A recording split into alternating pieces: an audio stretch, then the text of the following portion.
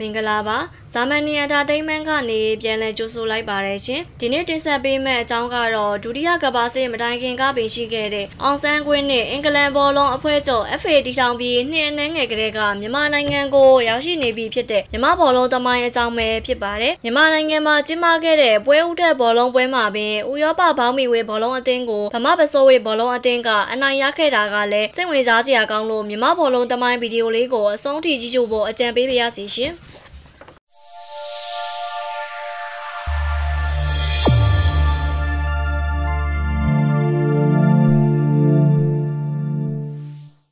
ယခုအချိန်မှာမြမဘောလုံးလောကဟာမှိမ့်မိန်နေပေမဲ့မြမဘောလုံးတမိုင်းစားကတော့ခန်းနာခဲ့တယ်လို့ဆိုရပါမယ်။ဘောလုံးဘိုးတွေဖြစ်တဲ့အင်္ဂလန်ဘောလုံးအဖွဲ့ချုပ် FA ကို1863ခုနှစ်ကစတင်ဖွဲ့စည်းခဲ့ပြီးမကြာမီနှစ်နှဲငယ်မှာပင်မြန်မာနိုင်ငံကိုဘောလုံးကစားနည်းရောက်ရှိနေပြီဖြစ်ပါတယ်။မြန်မာနိုင်ငံကိုဘောလုံးစတင်ဝင်ရောက်လာခြင်းကစာရေးဆရာဂျော့စကော့မြန်မာအမည်ရွှေရိုးမှဘောလုံးနဲ့ပထမဦးဆုံးမိတ်ဆက်ပေးခဲ့ခြင်းဖြစ်ပါတယ်။စကော့ကို1851ခုနှစ်မှာမွေးဖွားခဲ့ပြီး1935ခုနှစ်မှာကွယ်လွန်ခဲ့ပါတယ်။စကော့ဟာဂျာနယ်လစ်ကျောင်းဆရာကိုလိုနီအုပ်ချုပ်ရေးသမားတအူးလည်းဖြစ်ပြီးရန်ကုန်ကိုရောက်လာတာကတော့ကျောင်းဆရာအနေနဲ့ဖြစ်ပါတယ်။1880ခုနှစ်အထိမြန်မာပြည်မှာရှိနေခဲ့ပြီးဒီကာလအတွင်းမှာစကော့ဟာစိန်ကျွန်းကောလိပ်မှာကျောင်းဆရာအနေနဲ့တာမကပဲကျောင်းအုပ်လည်းခိတ္တလုပ်ခဲ့ပါသေးတယ်။စကော့ကမြန်မာယဉ်ကျေးမှုကိုစိတ်ဝင်တစားလေးလာခဲ့ပြီးဗမာစကားကိုကျွမ်းကျင်စွာပြောနိုင်သူလည်းဖြစ်ပါတယ်။ မြန်မာကျောင်းသားများကိုသူကျွမ်းကျင်တဲ့အားကစားမျိုးစုံကိုမိတ်ဆက်ပေးခဲ့က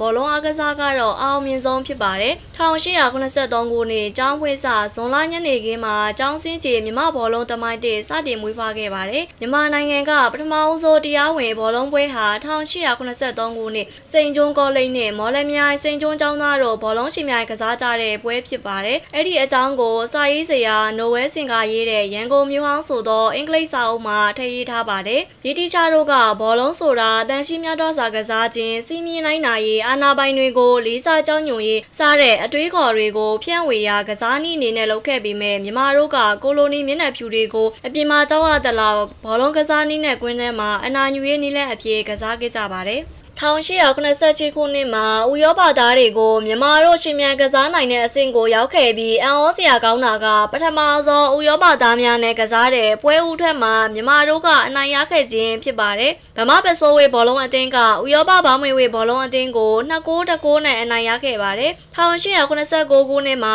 ဘောလုံးအသင်းတွေများပြားလာပြီးမြန်မာအသင်းတွေကိုပစိုးဝေအသင်းလို့ခေါ်ပြီးဥရောပအသင်းတွေကိုဘောင်းမွေဝေအသင်းလို့ခေါ်ခဲ့ကြပါတယ်။နောက်ပိုင်းမှာဥရောပသားတွေအသင်းကိုမြို့တော်သားအသင်းနှင့်မြန်မာတို့ရဲ့ပစိုးဝေအသင်းကိုကျောင်းတော်သားအသင်းလို့အမည်ပေးခဲ့ကြပါတယ်။မြန်မာနိုင်ငံသို့ရုရှားကလပ်အသင်း၊ဟန်ဂေရီအသင်း၊ဂျီဒီယာခေါ်အချစ်ဂျာမနီအသင်းများစတဲ့အသင်းတွေရှေ့စမ်းပွဲလာကစားရင်ပွဲကြည့်လက်မှတ်များကိုကြိတ်ကြိတ်တိုးဝယ်ယူအားပေးခဲ့ကြပါတယ်။ မြမဘောလုံးတမိုင်းနဲ့ပတ်သက်ပြီးအောင်ဆန်းအားကစားကွင်းတမိုင်းကျောင်းကိုပြောရရင်မူလအစအောင်ဆန်းအားကစားကွင်းရဲ့အမည်က BA Ground လို့ခေါ်ပါတယ်။ BA ဆိုတဲ့အမည်အရှိကောက်က Bama Athletic Association မြမပြည်အားကစားတင်ကြီးဖြစ်ပါတယ်။အင်္ဂလိပ်ခေတ်ကာလမှာ BA ကဘောလုံးတင်းနစ်ချက်တာဟော်ကီခရစ်ကက်စတဲ့ပြိုင်ပွဲတွေကိုကျင်းပပေးခဲ့ပါတယ်။ BA ကွင်းကို1906ခုနှစ်မှာတည်ဆောက်ခဲ့ပြီး1906နှစ်မတိုင်ခင်ကရန်ကုန်မှာကျင်းပတဲ့ဘောလုံးပွဲတွေကိုလမ်းမတော်ဘက်မှာရှိတဲ့မိုင်းတာကွင်းမှာကျင်းပခဲ့ကပွဲချီစင်တွေကတက်ကံမိုးတဲကြီးတွေဖြစ်ပါတယ်။မိုင်းတာကွင်းမှာပဲတနေရာတဲ့သတ်မှတ်ပြီး1910ခုနှစ်အထိ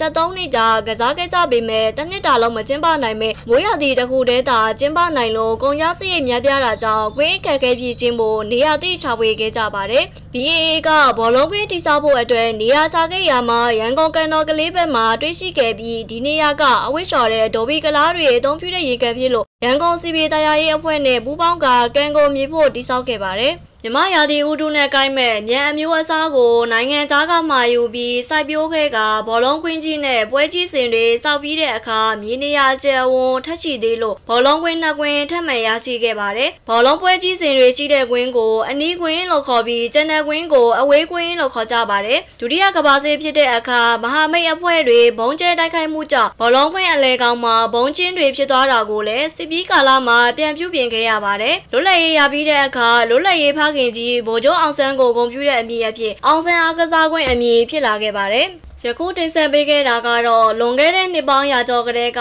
မြန်မာတော့ဘောလုံးအားကစားခဲ့ကြတဲ့အကြောင်းနဲ့တမိုင်းဝင်အောင်ဆန်းအားကစားခွင့်အကြောင်းကိုဗဟုသုတအဖြစ်တင်ဆက်လိုက်ခြင်းဖြစ်ပါတယ်။ဗီဒီယိုထဲမှာပါဝင်တဲ့အကြောင်းအရာများကိုတော့အောင်ဆန်းကွင်းတမိုင်းကြောင်းရန်ကုန်တမိုင်းမြန်မာဘောလုံးတမိုင်းစသည်တို့မှအချက်အလက်များကိုကိုးကားတင်ဆက်လိုက်ခြင်းဖြစ်ပါတယ်။